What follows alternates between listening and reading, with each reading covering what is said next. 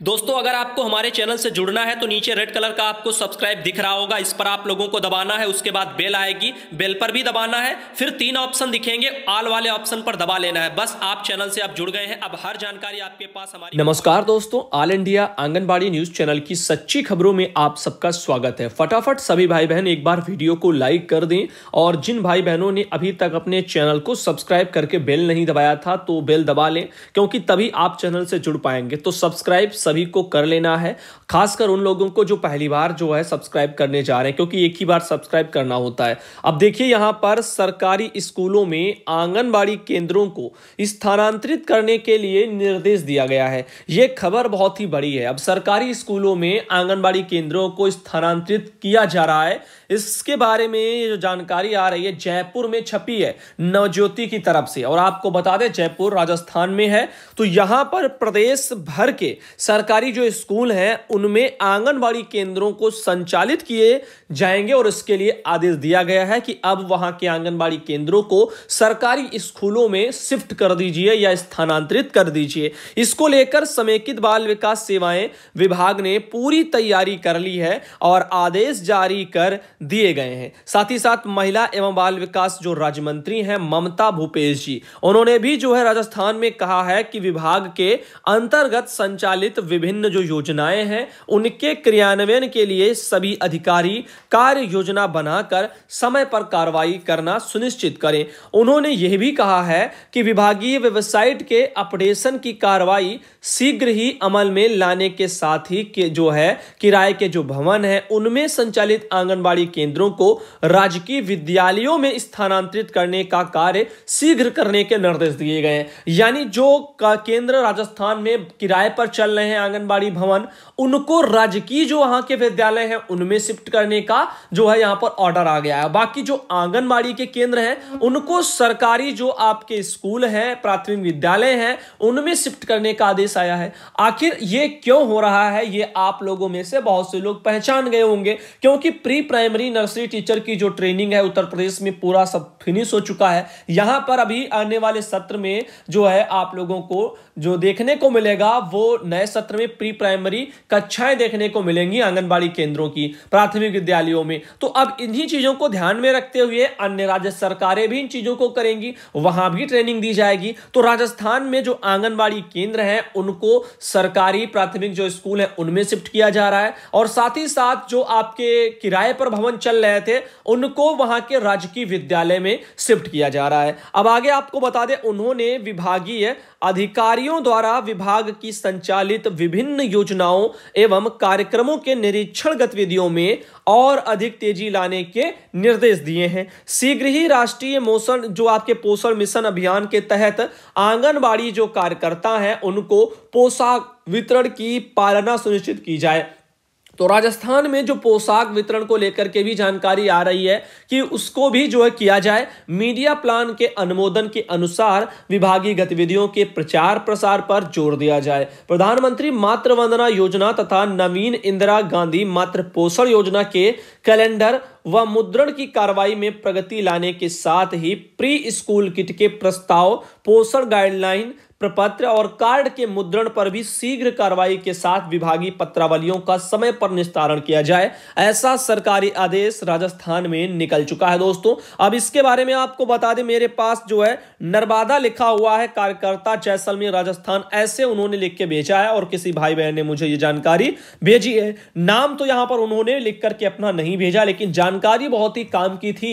तो आगे आप लोगों को बता दें, एक अगला सरकारी आदेश ये जारी हुआ है उत्तर प्रदेश में निदेशालय से। 13 जनवरी को यह लेटर निकला है और उत्तर प्रदेश के सभी जिलों के डीपीओ महोदय को लेटर भेजा गया है 13 जनवरी को। इसमें कहा गया है कि जल जीवन मिशन सौ दिन का जो अभियान है, इसके अंतर्गत जो विद्यालय हैं और जो आंगनबाड़ी केंद्र हैं, उनको नल से जल उपलब्ध कराने के संबंध में लेटर तेरह जनवरी को अभी हाल ही में एक और निकला है। पहले भी सरकार ने लेटर निकाले हैं तो देखते हैं नए वाले लेटर में क्या क्या सरकार ने कहा है। इसमें कहा गया है कि जिसके द्वारा जनपद स्तर पर संचालित आंगनबाड़ी केंद्रों की जो सूचना है, प्राथमिक विद्यालयों एवं किराए के भवनों को छोड़ करके, ये उत्तर प्रदेश वाले इस सरकारी आदेश में बोला जा रहा है। निर्धारित प्रारूप पर दिनांक 24 बारह 2020 तक चाही गई थी। कौन से केंद्रों की? जो केंद्र अपने खुद के आंगनबाड़ी भवन में संचालित हैं उनकी सूचना चाही गई है। क्योंकि ब्रैकेट में इन्होंने लिख दिया है कि जो प्राथमिक विद्यालय में केंद्र चल रहे हैं और जो किराए पर केंद्र चल रहे हैं। उत्तर प्रदेश में इन केंद्रों को दोनों को छोड़ करके जो खुद के भवनों में आंगनबाड़ी केंद्र चल रहे हैं, उनके लिए जो है प्रारूप पर सूचना मांगी गई है। जल जीवन मिशन सौ दिन का अभियान के अंतर्गत। देखो, इसमें आपके जो प्राथमिक विद्यालय है, उनको इसलिए छोड़ दिया गया क्योंकि ज़्यादातर प्राथमिक विद्यालयों में पहले से नल लगे हैं तो इसके लिए नल जल वाली जो योजना है, वहाँ पर ज़्यादा प्रारूप पर सूचना मांगना भी बेकार है।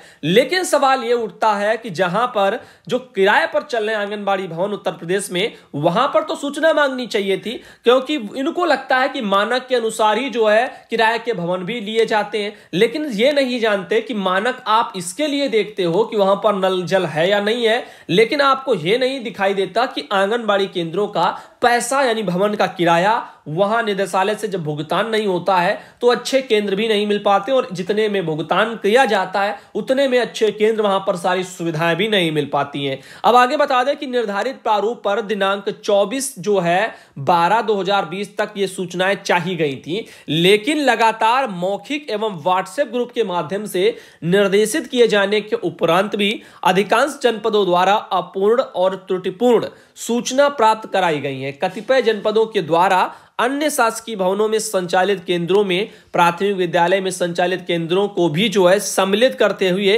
प्रेषित कर दिया गया है। जबकि स्पष्ट रूप से विभागीय व्हाट्सएप ग्रुप पर जिला कार्यक्रम अधिकारी, मुख्यालय के साथ ही आदो हस्ताक्षरी द्वारा भी प्राथमिक विद्यालय एवं किराए के भवनों को छोड़ करके अन्य शासकीय एवं विभागीय भवनों में संचालित केंद्रों के संबंध में सूचना, अन्य जो है वितरण के साथ उपलब्ध कराने का निर्देश दिया गया इनका कहना है सरकारी आदेश में कि हमने जो लेटर निकाला था पहले उसमें उन्होंने कहा था कि जो आपके प्राथमिक विद्यालय वाले हैं और जो सरकारी सॉरी जो किराए पर चल रहे भवन है तो इन दोनों को छोड़ करके सूचना मांगी गई थी। लेकिन उनका कहना है, अभी जहाँ जहाँ आई है सूचनाएँ, सब मिक्स करके भेज दी गई हैं। तो अब शायद फिर से आप लोगों को इन्हीं मैटरों पर, जो प्रारूप पर सूचनाएँ पहले पूर्व में मांगी गई हैं, वो शायद एक बार फिर मांगी जाएँ। अब आगे देखिए, इसमें लिखा गया है कि जो है यहाँ पर 12 तो 12 एक 2020 के द्वारा उक्त के संबंध में कुछ अन्य सूचनाएँ भी चाही गई हैं। अब देखिए, नई सूचनाएँ क्या चाही गई हैं इसी से रिलेटेड